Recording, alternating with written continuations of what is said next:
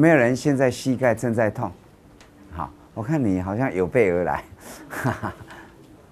痛哪里？痛这一块。痛这一块。对，前两天在这块痛，现在到这块痛。啊，这一块哈。嗯。他的髌骨在这里，膝盖膝盖骨在这里，一般是这样哈。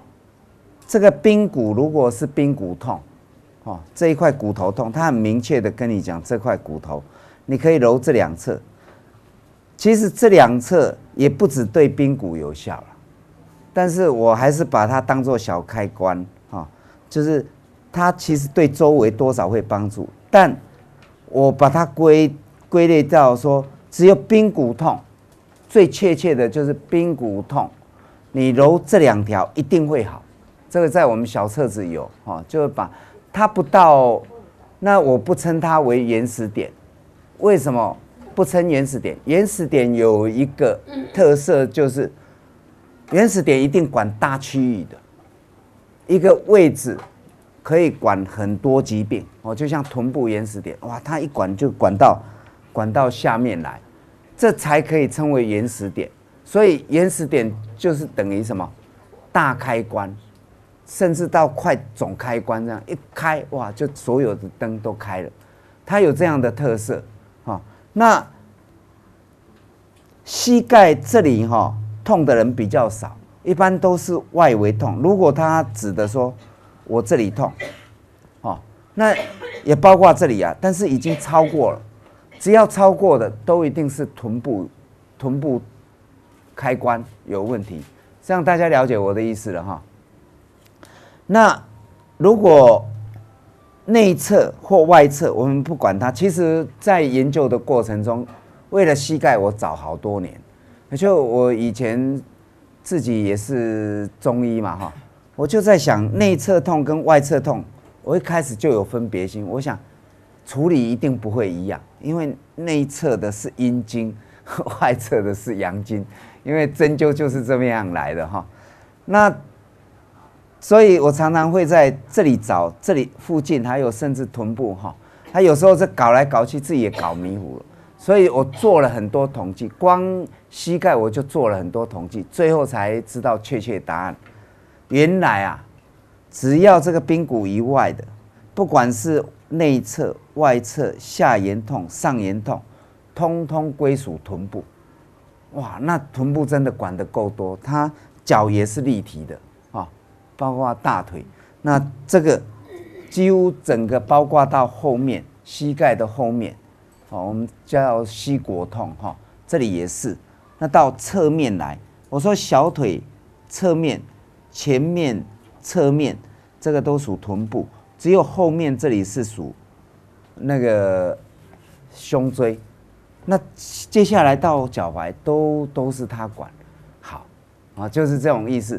所以。他现在膝盖痛，哦，他说痛这里，不管内侧外侧。这个小腿这个比较胀。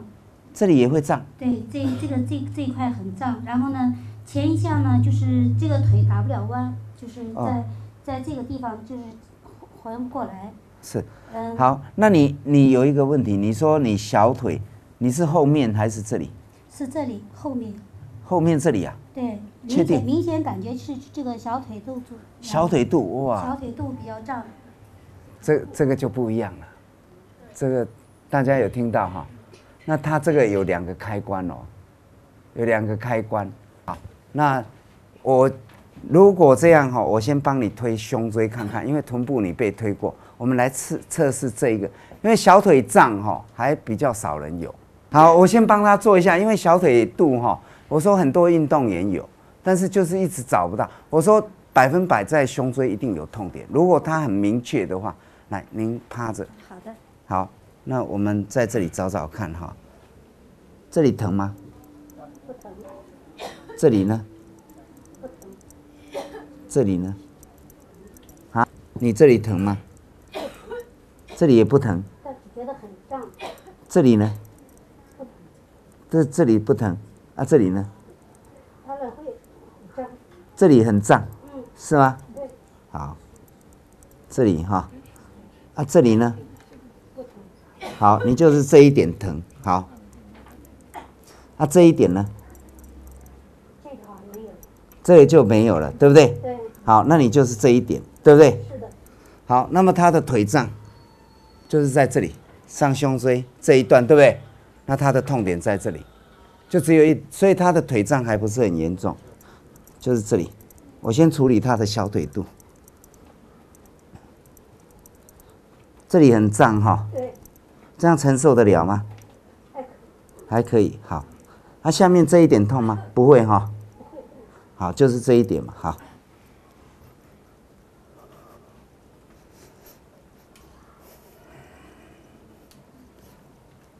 好，你先下来让大家看一下哈，穿鞋子，你看看，完全没有了，小腿肚完全没有了，没有了，确定哈？确定没有了，一点没有了。好，小腿肚一定是在胸椎，你没有处理，它会一直留着。好啊，那然后臀部即使会稍微改善，因为我说臀部是小开关，因为这些我都找过，他就是一直做比较，所以我才会说，只要小腿肚有，你在上胸椎一定可以找到。好，那现在这个膝盖还会痛吗？膝盖哈，啊，你看看，还会，因为我没有揉臀部，对呀、好，我就是一步一步做给大家看。你趴着，你是左哪一脚？是这个。好，那趴着，我再帮你做一下。那我们就直接做我们要的开关就好。放松，这里会不会痛？这一点痛吗？啊？这个会哈？对，有一点，啊，这一点比较痛吗？呃一摁我会紧张，你会紧张啊？啊，这一点呢？哎痛，这一点痛，对，这个痛，啊，这里呢？哦，所以这一点最痛哎是吗啊最痛，啊，上面还好，对不对？对，上面好一点。哦，那这就是这一点，那它的臀部就是这一点。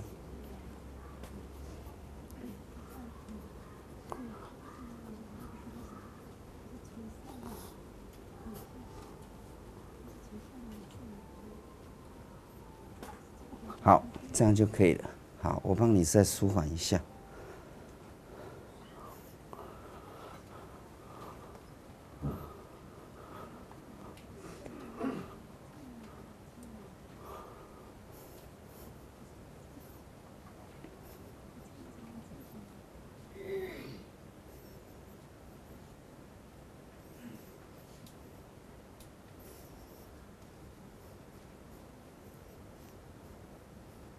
好，这样可以，你起来看看你那个脚，然后蹲蹲看，没关系。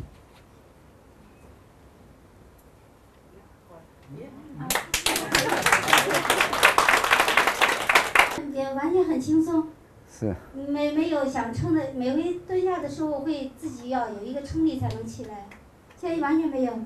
好，谢谢，谢谢，谢谢，好。